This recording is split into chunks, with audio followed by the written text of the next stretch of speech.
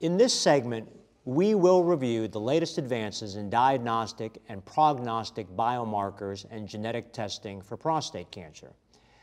We will discuss several companies that are actively evaluating potential diagnostic and prognostic biomarkers and validated assays for use in prostate cancer. Let's begin the segment with some general questions on biomarker development and genetic testing in prostate cancer.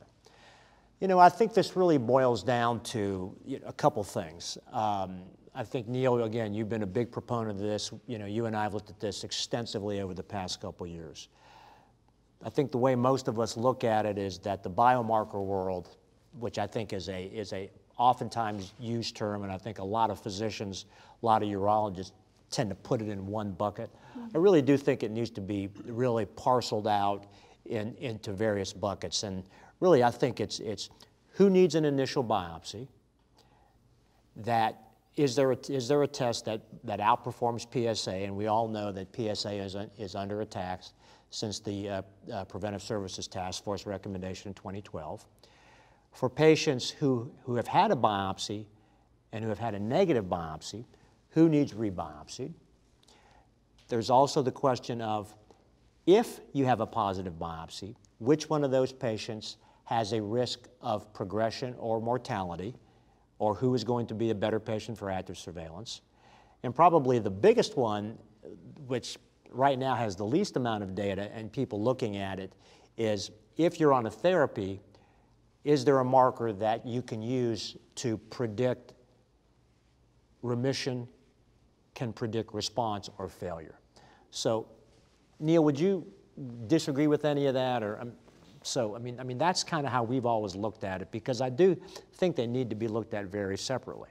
Yeah, no, I think you did a great job of uh, taking, uh, there's a lot of new information out there, and I like the way you broke it out into those three buckets, who to biopsy in the first place, uh, and then who to do a repeat biopsy or not on, and then in the newly diagnosed patients, and you alluded to the, the task force, and we know that it's probably fine to diagnose and have that information, we want to avoid overtreatment, overutilization of therapies. And I think that was the big rub that came out. Uh, and so we don't want to, as people say, throw the baby out with the bathwater. We, we need to continue to screen. We just need to be smarter about how we screen, and we need to be more judicious about how our treatment recommendations. So there have been some fabulous advances in genomic assay products to help us with that.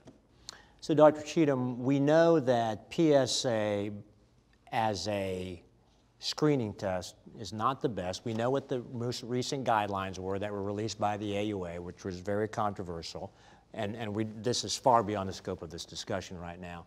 So, in terms of what else is out there from PSA? You know? I mean, look, PSA, as we all know, it's got its pros, it's got its cons, it's been around for a long time. There is still yet to be a single biomarker that's completely trumped the PSA in terms of its accuracy. But I think what we're going to see moving forwards, we're not necessarily going to see one biomarker that replaces PSA. I think we're going to see much more of this panel of biomarkers that we can uh, offer the patient. So particularly for those people who are at high risk of prostate cancer with strong family histories.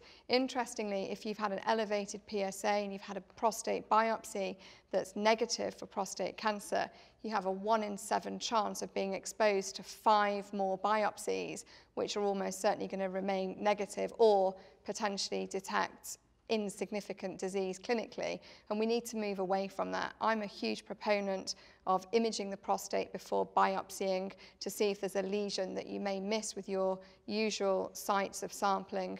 I also think that we need to remember that biopsy is not without risk. And I think we have to do our due diligence to counsel the patient about their risk of having a positive biopsy.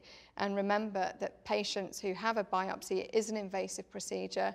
For a small percentage of people, they can wind up in the hospital requiring intravenous antibiotics. For patients, it can be life-threatening. We need to make sure that we address these issues. Obviously, for the right patient, the biopsy uh, still has a role, and that, again, is another big hot potato here, that that may become obsolete with MRI imaging becoming much better. Uh, a few months ago, I was asked to write a book chapter on biomarkers for prostate cancer, looking at biomarkers in urine, blood, and prostate tissue. And with busy weekends, the paper was being delayed and delayed. And every weekend delay in writing the paper, there were more and more biomarkers being discovered. And it's quite difficult to remain on top. But I think these panels of markers are what we're going to see moving forwards, not just individual biomarkers that replace PSA.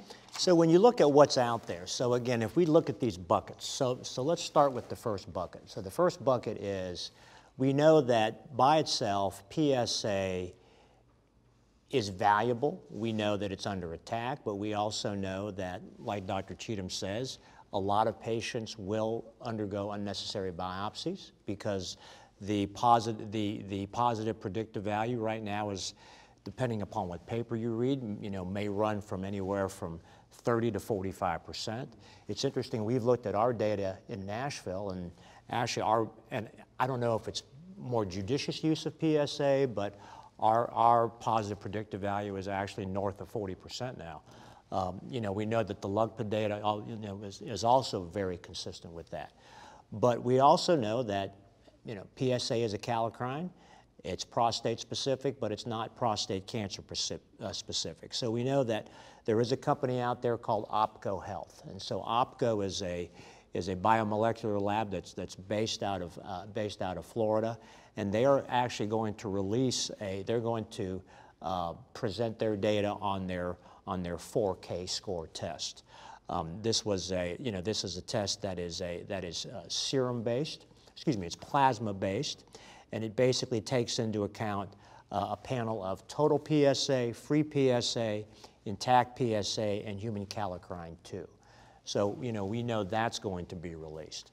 Um, there, you know, there, there's also the prostate health index uh, that, that's, that's available, I believe, through Beckman Coulter. Uh, we also know that there's the Michigan uh, prostate score, which takes into account PSA, PCA3, as well as TMPRSS2, uh, TMPRSS2 ERG fusion. So the question really is, is will any of these replace PSA. Right now, they're not, they're not being touted to replace PSA. They should be used in conjunction with PSA. But Mike, where do you see all this going? I mean, you know, this is like a nuclear arms race. to echo your, your item about your book chapter, it's, this is something that is exploding. Um, and it's almost outpacing the research for, for these things. Um, I think right now we've got a test that's about 67% uh, helpful, and then we've added a little bit of a percentage with each one of these little things, whether it's the 4K score or the, or the Michigan test. There's all different aspects that can improve.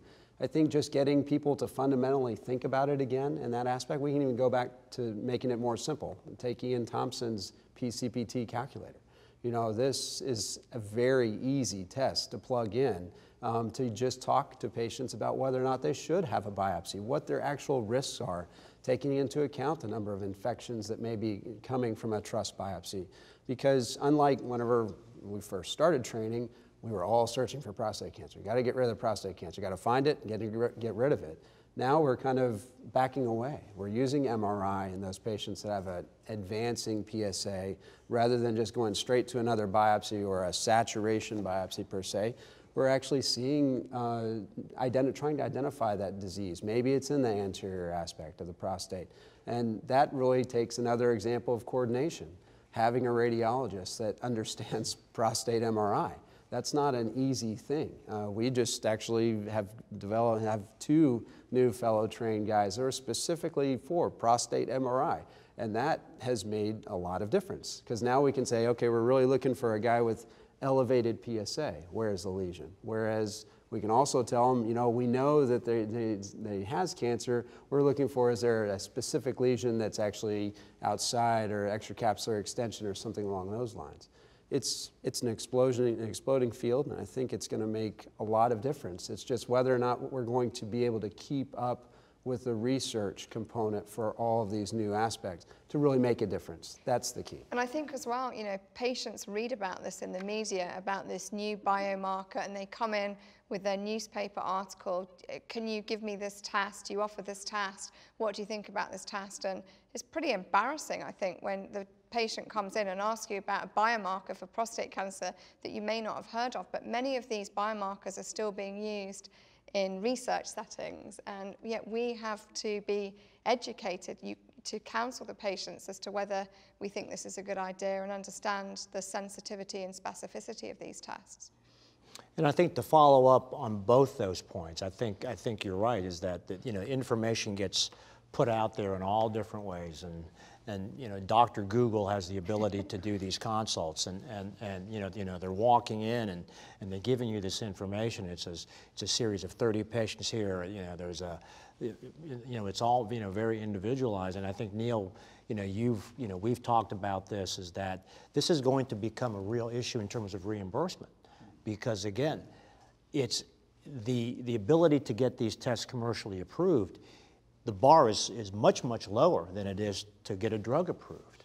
And so now all of a sudden, you can get these labs, you can get these tests to market, and the question is, is okay, you have to look at the data, critically analyze it, and say, um, hey, you know, is this, is this where we want to be?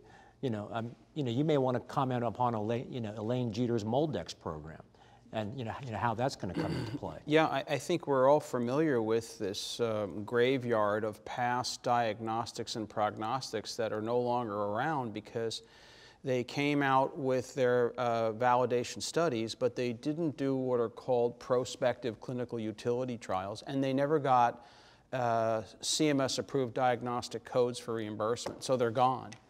And um, thanks to Dr. Elaine Jeter, who, who ran the Palmetto division of CMS and who's now heading the MolDX pro program, the molecular diagnostics program, there's a very scientific vetting of the different uh, biomarkers that are being asked to receive reimbursement through, primarily through CMS, which I think will be the, the standard for other uh, insurance companies. And one of the biggest things is having what are called subject matter experts in the field review their validation trials, but also their prospective clinical utility trials. A prospective clinical utility study has to show that our colleagues uh, took the information and really did something with it rather than say, oh, this is interesting, but that they really did and changed their behavior. And when you think about it, that's just good stewardship. So, so Dr. Elaine Jeter, she's heading it. I, my hat's off to her. She's really, it's, a, it's an enormous amount of effort, but she does have experts in the field to help her with it. I mean, it's like anything.